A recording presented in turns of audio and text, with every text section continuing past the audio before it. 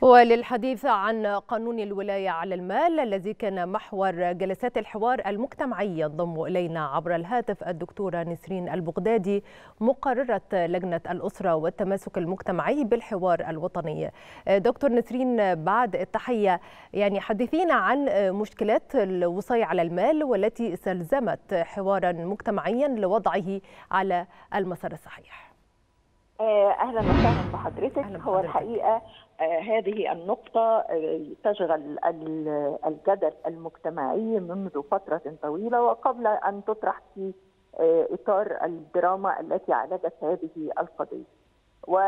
وحينما تم طرح هذا الموضوع أمام الحوار الوطني كانت هناك أيضا مناقشات من قبل بعض التجارب الواقعية الحياتية التي وضحت بعض من المعاناة التي تعانيها الأم في إطار يعني رعاية القصر وفي إطار هذا القانون وفي إطار الوصايا.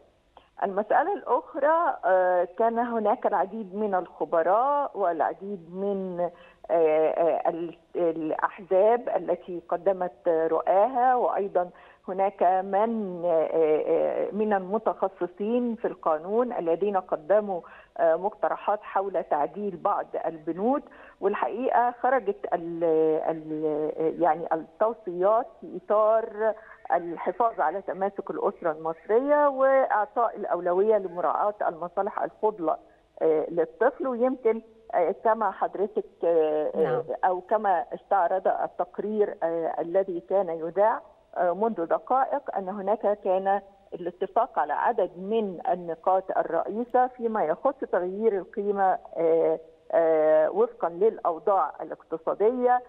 سرعة البت في الإجراءات إجراءات التقاضي رقمنة النيابات الحزبية تخصيص مبلغ مالي للولي في الحالات العاجلة وتبسيط الإجراءات للحصول عليه. ثم أيضا يعني زيادة عدد الخبراء وزيادة عدد السادة القضاة في محاكم الأسرة وتحسين أوضاع الأسرة وفي النهاية كان هناك مقترح أو التأكيد على أن الوصاية الجد للأب من الممكن أن يتم أن يعاد النظر فيها وأن تؤول للأم مباشرة حيث أن ذلك لا يخالف الشريعة.